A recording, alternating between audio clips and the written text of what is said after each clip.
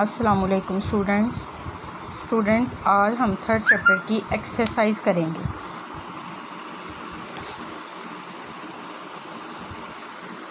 इसके five question से questions हमने वन बाय वन करके सारे कर लिए हैं। आज हम इसकी फिल इन द ब्लैंक्स जो है, ये देखते हैं। Living things need food which gives me dash to perform their activities living things need food which gives them energy to perform their activities. Without dash, there would be no life on the earth.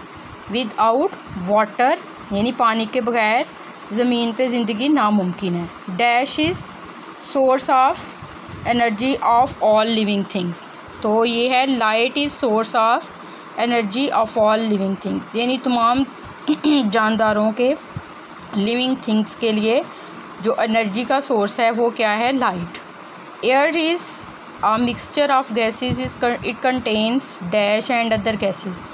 तो ए हवा जो है, ये gas mixture है gases का।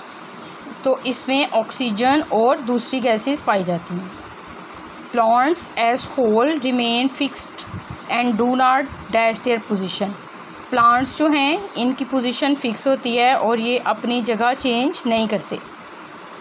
Choose the correct options तो which one of the following is non living things आपने बताना है कि इनमें से नॉन लिविंग थिंग्स कौन सी हैं? ह्यूमंस प्लांट्स फ़ैन एनिमल्स तो इसमें से जो है ह्यूमंस भी लिविंग थिंग्स में आते हैं प्लांट्स भी और एनिमल्स भी. सिर्फ़ फ़ैन है जो नॉन लिविंग थिंग है.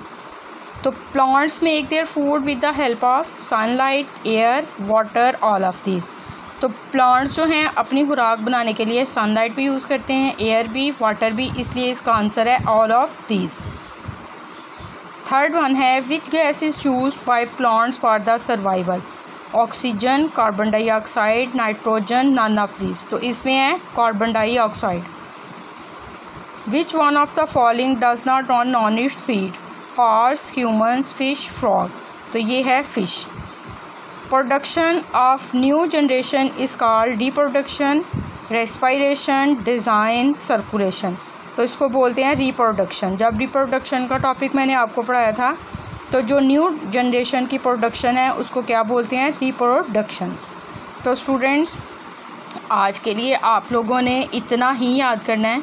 फिल इन द ब्लैंक्स और चूज़ द करेक्ट ऑप्शंस इनको कॉपी पे नहीं लिखना, सिर्फ़ आप लोगों ने याद करना है.